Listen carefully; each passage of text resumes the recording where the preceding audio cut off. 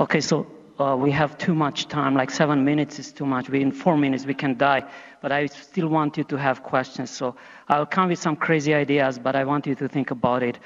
So um, education is boring in general, irrelevant, and kind of like it's a big challenge for us. And uh, you might find strange that I'm coming with a proposal for many of you, which are professors, to think about it we need to bring naturalness to unnatural uh, synthetic kind of way of thinking and galaxy is one of the most powerful opportunity we might have. Why is that? Because we can bring together different type of students in a room and keep them for a semester and give them credits for three different disciplines and have them work in a real life environment. And i will show you three proposals and i would like you to uh, feedback for any crazy idea. But there is another one um, can you imagine that somebody at the other end of the world can look at your DNA? I think this is absolutely crazy. So if you can imagine the cure for cancer for an American will come from somebody in Bangladesh in their free time. I'm exaggerating a bit just to make a point here.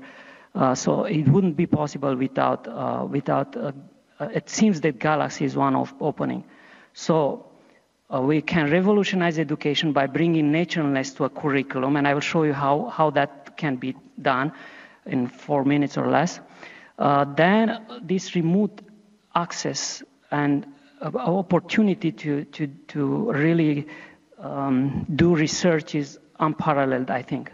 And we were talking yesterday about citizenship, citizen, citizen type of uh, um, um, research. I don't think that's crazy anymore. It's almost closed. So that's the cusp.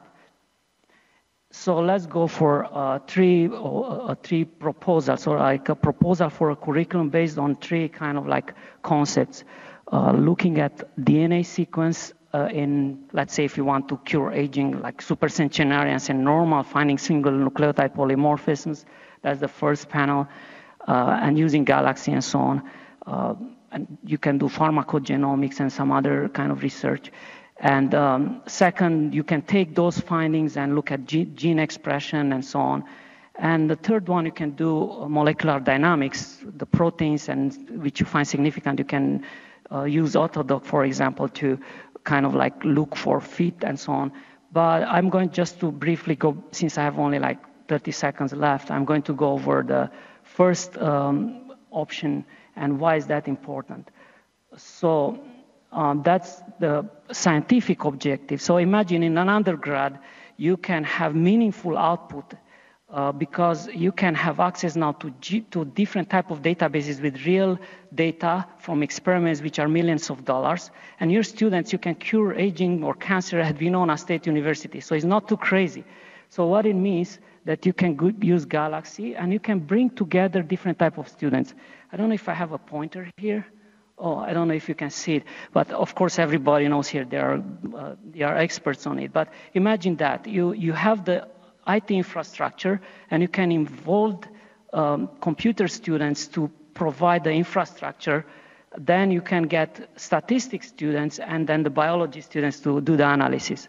So imagine that if you have a curriculum where all students for one semester, these three categories of students work together is more natural. This is what happens mostly in production and so on. And you can give them credits for different type of uh, activities. So like computer students will learn virtualization and cloud computing, Galaxy, PostgreSQL database, and so on. So, um, and the biology students will learn also some tools. So this is very natural. I don't know why current curriculums take you from French to chemistry and to some kind of history of, you know, like, and it is brain damaging. But this will be a project where people can really have output. And it's very simple. It's open source based. Nothing, it doesn't cost. There are a few challenges, and I will, I have to pay attention how many minutes I have left. But the bottom line is that the students I tried with a very at very small scale, and a registered nurse ended up doing Python or Linux administration as good as anybody else. So I think um, it's possible. It's not too crazy. Uh, so the bottom line is that you can get the results and students can learn Python, uh, whatever tools are there, and they can have real output.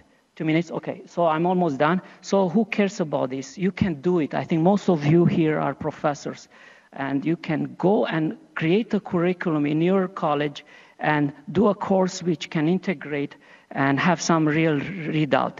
And I don't know how many undergrad students are here. So what are the challenges? I have one minute left. Um, there are challenges. Faculty, for example, you need a project management. Okay, there are enterprise resource planning, which is open source, and I will talk to you about that in like five seconds. There is uh, IT infrastructure, expensive. It's not anymore that big deal. Most universities have some kind of uh, uh, architecture, and all the tools we were talking today are open source. Then we have um, uh, uh, educational uh, course management system, EDX, Moodle is open source. And uh, of course, there are some other kind of tools there. So all these challenges are really not anymore that uh, challenging. It's just you putting together a curriculum which is uh, possible. So, and all these tools, uh, you should always think that, um, I mean, I don't want to make any uh, assumptions or anything, but uh, I, I know how to do all these tools, and most people can do it at very cheap. I mean, think of Mother Teresa to some extent having these tools ready. So, um, that's all what I wanted to say. Um, if you have any questions, I would be more than glad to answer.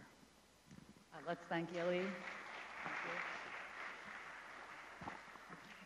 Do we have any questions, especially from educators in the audience?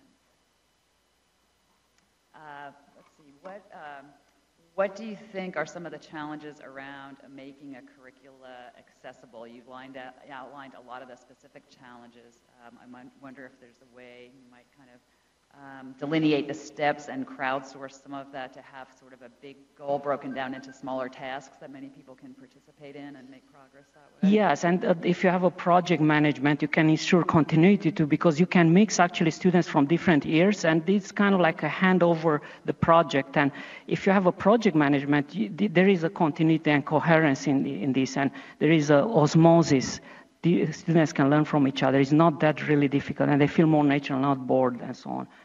Um, I, I, think that is not difficult, but because the universities have silos, everything. I mean, we have statisticians in like 10 miles from biologists.